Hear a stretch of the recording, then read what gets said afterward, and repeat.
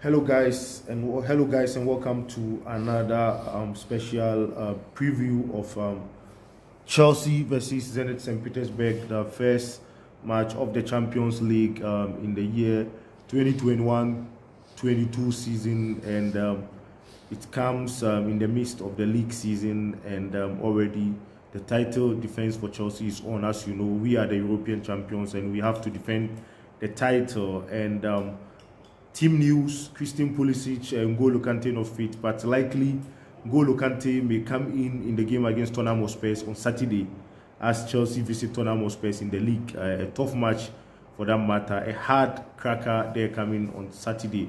And um, already the Zenit St. Petersburg, um, already the last season, they placed uh, last in their group uh, in the Champions League and they don't have so much history to write uh, about, so much history to write home about. But um, this, I think, is the first meeting with Chelsea, Zenit St. Petersburg, and um, Chelsea uh, will approach this match with all seriousness. Already, the squad depth of Chelsea was highlighted last week as there were six changes uh, uh, in comparison to the lineup that Chelsea presented against Liverpool. And um, we expect those players that didn't feature Mason Mount, um, Benjamin Chilwell, and um, some of them, so much, so many of them didn't feature that we expect to be back in the team. Jorginho didn't start. Um, uh, maybe um, yeah, Jorginho and those guys there should come in, and then some couple of other players because I knew there were six changes. Christensen, yeah, Christensen didn't play.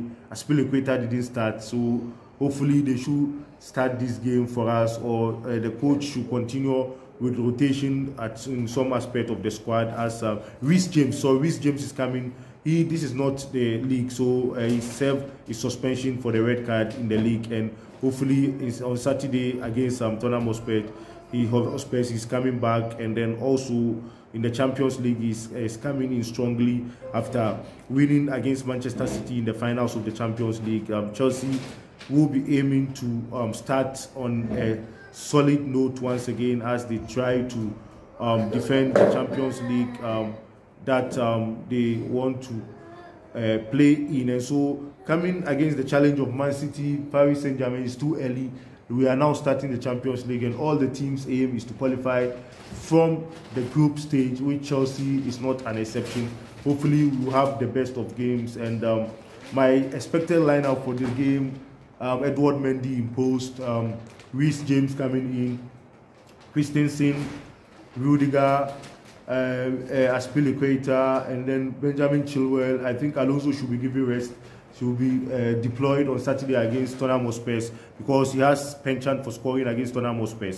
And then um, in midfield, we have Jorginho Kovacic as Saul Niguez should still uh, be rested to come in the second half. I still think we should still give him some minutes despite his uh, poor performance um, against Aston Villa. And then on the wings, Mason Mount and then um, uh, Kai Havertz and Romelu Lukaku should we lead the attack or even possibly maybe we, we start Lukaku in the second half but most people will not agree with me. So Lukaku starts, but we play in 45 minutes. Maybe Kai Havertz will come in, and then uh, Timo Werner will also come in uh, in the second half. To so we have in the second half Timo Werner, Kai Havertz, and Mason Mount. And then my prediction is um, I see two or three nil Chelsea in this game with Lukaku scoring and maybe Mason Mount or Kai Havertz also scoring yeah if uh, you haven't subscribed to the channel do well to hit the subscribe button touch the notification bell share the program to as many viewers as possible